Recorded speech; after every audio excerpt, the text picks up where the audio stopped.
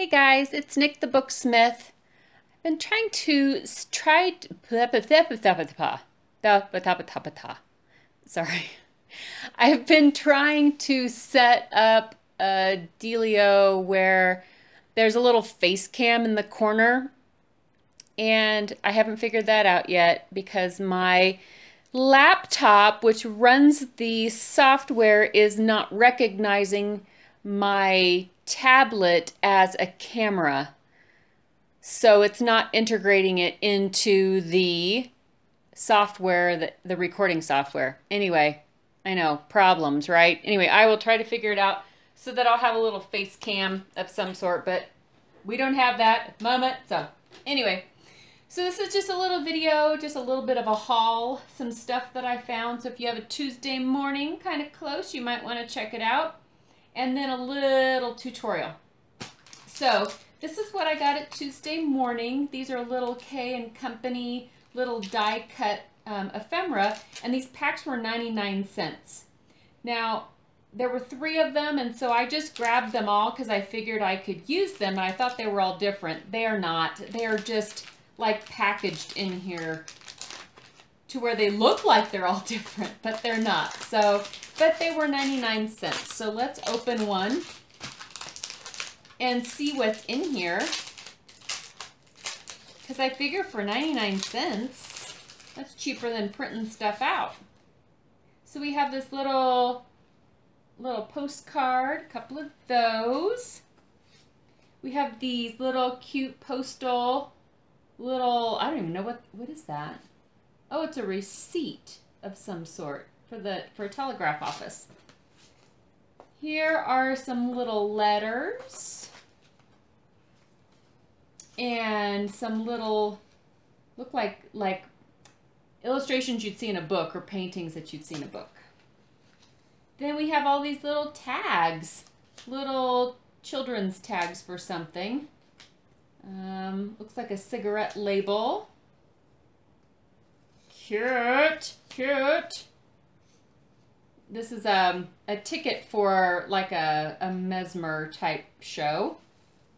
A real estate ticket. That's kind of cool. I don't even know what that means. Oh, it's a bus ticket. Okay. Some like um, uh, travel stickers. Little book plates. Some little needle, uh, needle book cover some more little book plates, some ripped postcard pieces, stamps, little trains, little advertisements. Oh, these are cute. Oh, those are cute. And some more tickets. And I don't know what that is. is that the front of a far farmer's almanac, old one? That's cute too. So just some neat things, I think, for like collaging and stuff, maybe. Anyway, anyway, they're cute. They're um, they were worth the 99 cents I paid for each packet. These are um, this looks like a like stocks. Shares. It's shares of the the railroad. Cool. So 99 cents for that big pile of stuff. That's not that's not sh too shabby. Let's see, got myself another bone folder. I know this says on the thing, it says paste applicator. That is totally a bone folder for me. I guess it can be paste. It's from Artsy. So it was 99 cents. And then I got these little charms. So there are, can you see? Am I in the, ooh, ooh, ooh, ah, there we go. So there are little owl charms and little doves and little um, binoculars and they're hinged. Cute, right? So 99 cents for these packages. Then I got these little, oh, over here, little spools and then some bigger spools. So that was my, that was my little haul today at, now where do I put it? Okay. So, um, oh, just, just, this really isn't even a tutorial. It's just like a tip. It's just a tip.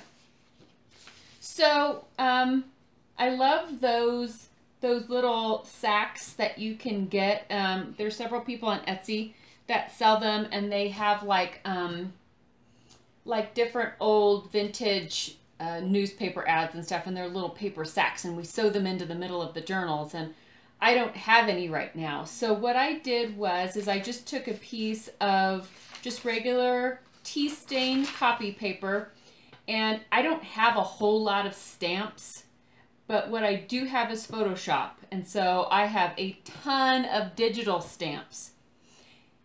And for those of you that have Photoshop, if it's needed at some point, I can show you guys how to make a digital stamp out of almost anything. So it's kind of a neat skill, kind of useful to have. So I just kind of randomly put some different things on. It was just real quick just to kind of show you this. So this is what you can do. You can take this and you can either fold it like like this and like this and you glue it. So we could, or you could fold it like this and make a skinny one. But let's let's let's do this. Let's do it this way. You could even sew it if you had a mind to. So I'm going to fold it like in thirds to where it's just barely, barely overlapping. My Oh, I forgot to get glue today. so just run a little bead of glue.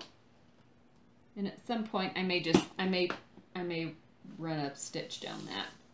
Although it's kind of hard to stitch it after you've after you've folded it. Huh? I mean, how are you going to get your sewing machine in there, right? See, you'd have to stitch along one side and then just glue it down and pretend like it's stitched, I guess. So now it is all together and now you can fold it in with your signature. So you just fold it in half this way and then you can sew it in with your signatures and then you have two two pockets. And it kind of looks like, um, kind of looks like those bags a little bit. It's just not sticking down very good. So you can take your a hole punch and punch a little hole. My hole punch, I need to, um, I need to um, sharpen it with some foil or something because it just, unless it's cardstock, it just mashes. So anyway, pretend, pretend that I had this already and I just would put it in there and just kind of nip a little half circle. And then that way you'd have two little bags.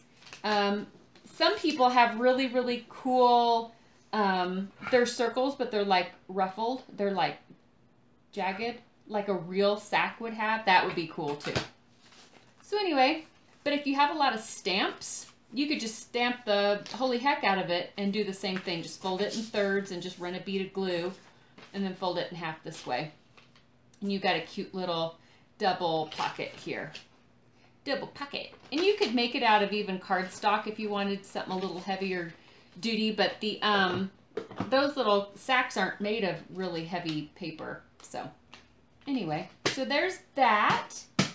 And then um, another thing I had forgotten to show you last time, and this is also not a tutorial, this is just a tip. This is just a tip because um, a lot of people probably already know this, but maybe some people that are new might not. So if you're looking for some ephemera, let's say you take a piece of just regular like cardstock. This happens to be the Tim Holtz, um, I don't remember what paper pack this came out of.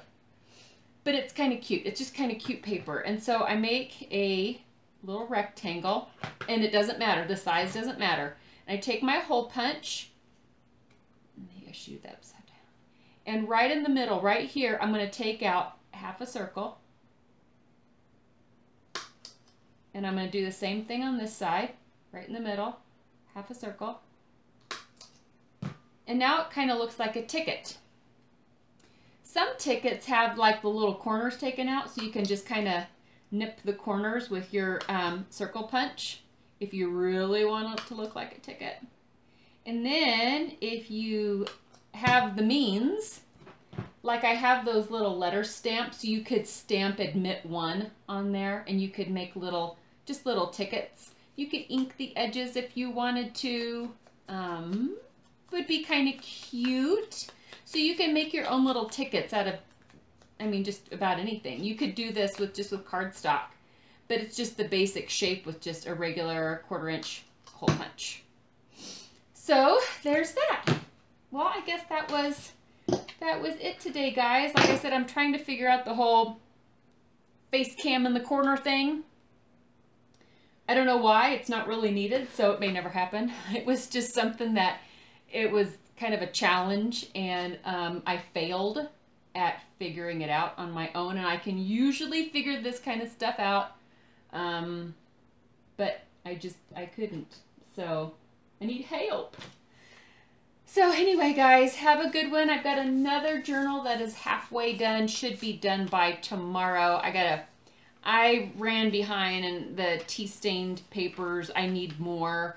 And I just need to remember that even if I'm not making journals, I still need to have like this um, assembly line. Because what I do is I get out my, just my copy paper and I just brush over my tea or coffee mixture, whatever I'm using, and then I lay it out to dry overnight.